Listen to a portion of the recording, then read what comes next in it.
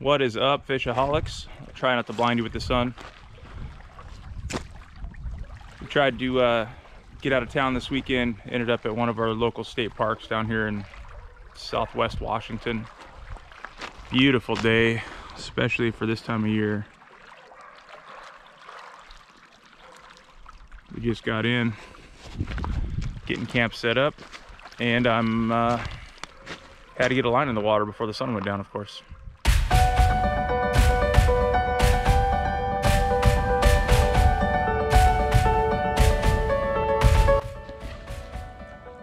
No fish this afternoon, but we only fished for about an hour. But I tell you what, what a beautiful hour it was.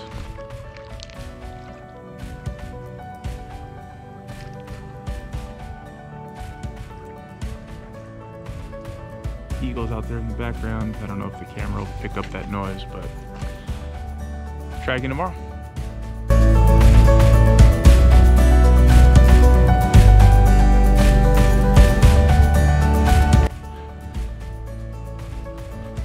Coming up on our next fishing spot today.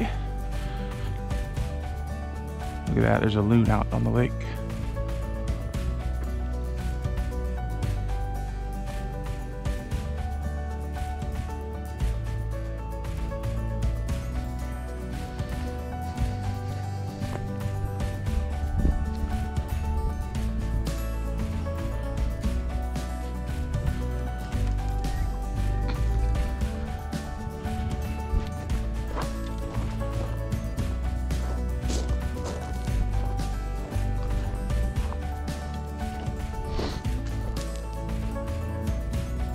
Morning I'm just running a slip bobber setup.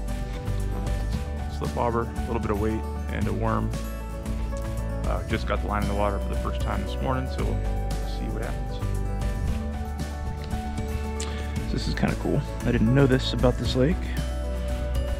Apparently there's freshwater clams in here.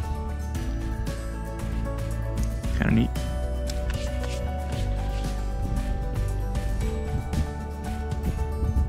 Slow today, but you can't beat the weather, that's for sure. What a beautiful, beautiful mid-January day. It's kind of crazy. It looks like there was actually just some kind of hatch that happened. I don't know if you guys can see the bugs. I guess we'll find out when I play this back at home. There was zero bugs here five minutes ago.